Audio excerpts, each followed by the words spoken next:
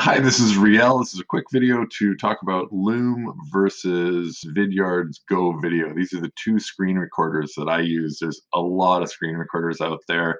Uh, I find these two to be uh, very simple to use. I really like the way that they position the windows. Uh, they have slightly different features, and I'll cover them quickly, although I do find them fairly interchangeable in terms of uh, usage. So some of the key things, I guess, in terms of how they value and price themselves.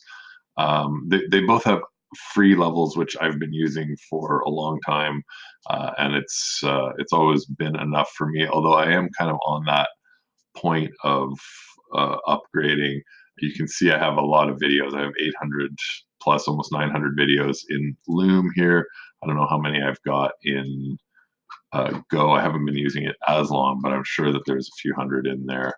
Just their their library is organized uh, a little bit differently than Loom. So I guess the the key differences that I see from a pay point of view. Actually, I'm not even going to talk about the pay point of view. I'm just going to talk about the. Um, I'm just going to talk about the features of the free one, and uh, I'll let you kind of discover the pay one because honestly, I don't pay for either one of them. So um, I tend to be using Go Video, which is what I'm using right now to record this more these days. Uh, a couple of reasons I like it. I find sharing to YouTube, it integrates with your YouTube account, and pushing your video to YouTube after you record it is super easy, which is what I do with almost all of my videos. So I don't use their viewer platform that much. I tend to send it to YouTube. Although, when you do send the links from their platform, something that's different than Loom is that they tell you uh, if the person that you sent the link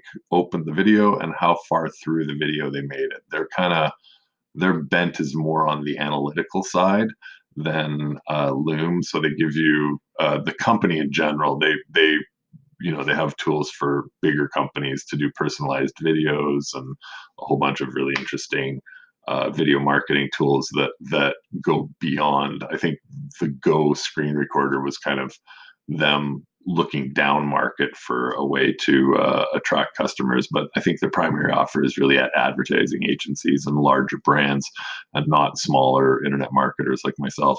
Um, but uh, it's still a really interesting platform. And I really do like the fact that I can see. So, the two big things that I like are the fact that I can see whether somebody watched my video. So for clients, I always send them the link to the video on there because I can see, oh, they saw 68% of the video and then they dropped out. So I, I think that's a really killer feature that Loom does not have. And I really like that I can push videos straight to YouTube from the recording with Loom. I have to download them and, and then upload them to YouTube, which it's not a big deal, but it's just, it's an extra step that, uh, um, makes it easier. And to be really honest with you, it's an easy way to hack around one of the limitations of Go videos. You can't download your videos unless you've paid. But of course, if you push them to YouTube, you can download them from YouTube. So it's an easy way to to get around their uh, their it's not really security, I guess, but their feature limitations. Um, Loom lets you embed more of the videos on there. Um, I guess benefits to, to Loom are they have a they have a an installable software program and they have more features that let you kind of uh, highlight things during video.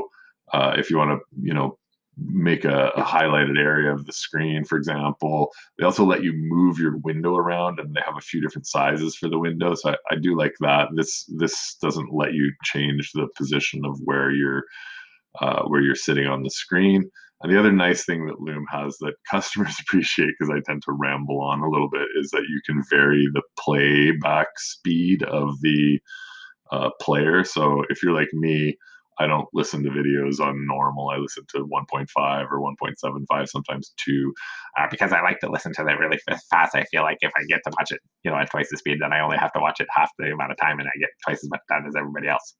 Sorry, that was my little quick speed speak. Anyway, so uh, so yeah, so those are the benefits of Loom, and Loom is ten dollars a month, where uh, uh, the other one is fifteen dollars a month. If I was going to pay for one, it's hard to say. You know, I, honestly, I lean mostly towards Loom, but it really bugs me that they haven't allowed personalization on their landing page. Like, I can't change this logo here to be my logo, whereas uh, these guys, uh, their professional edition basically lets you change the landing page. Let me just see here.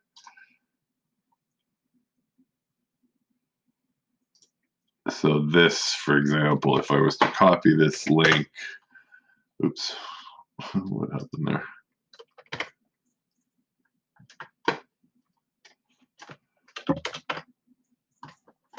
There we go. So if I had the Pro Edition, I could change this logo to not be Vidyard and to be my own logo, uh, which to me is like that's fundamentally what the Pro version should do, right? Like I get it, you're giving it to me for free, so this is a, an ad for your company, and I don't mind as long as I'm giving it away for free.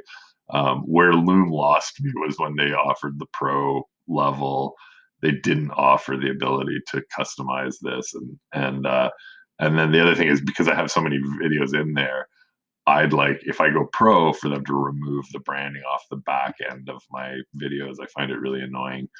I mean, again, I understand, but let me just show you their the size of their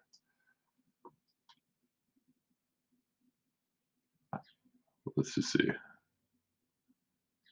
Huh. Uh, I think it must, let's see, it must show it only when it's played on the external screen. Let's just see that. So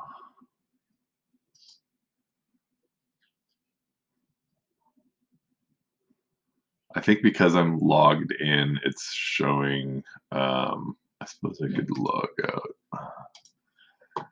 Let's try that.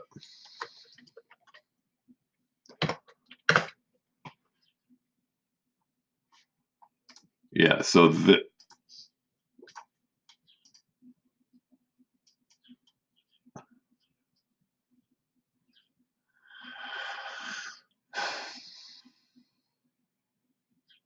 Hmm. Okay. Well, they used to have a huge, really ugly loom ad at the end of it. It was really uh, annoying. It looks like they've moved to just having it here. I suspect if I embedded this video, I would have that ad again. But uh, it, at the time I was annoyed because going pro wouldn't remove that ad from the back of my video. maybe they've uh, maybe they heard people like me and changed it since then.